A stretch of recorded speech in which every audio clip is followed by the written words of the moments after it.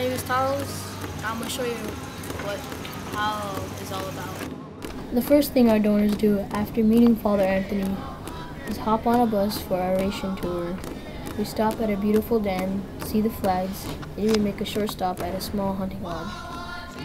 And then we venture to an earth lodge. Our donors get an experience how our Lakota people lived many years ago. The next day, we share even more Lakota culture about our donors. We have a dream catcher workshop.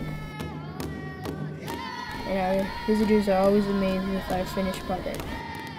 Then we get an interactive demonstration of Lakota hand games and learn from the master himself. Outside of our medicine wheel garden, we get stories and teachings from John B. Hiller about the sacred symbols and its use for med medicine, healing, and the balance of life. Last but not least is a student presentation. Our visitors learn about how different styles of dance and uh, what regalia means, and even dance for everyone at the end.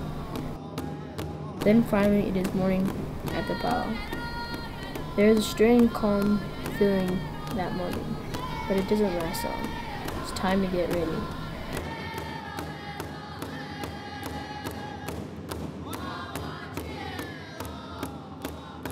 Then it is time to dance.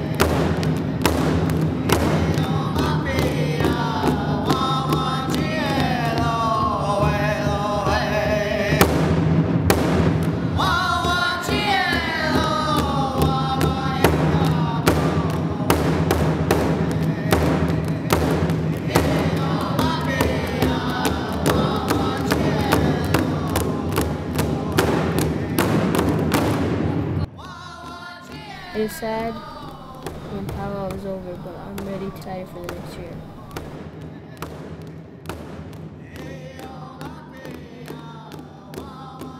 Thank you, donors, for providing us all that we need for St. Joe's Indian School.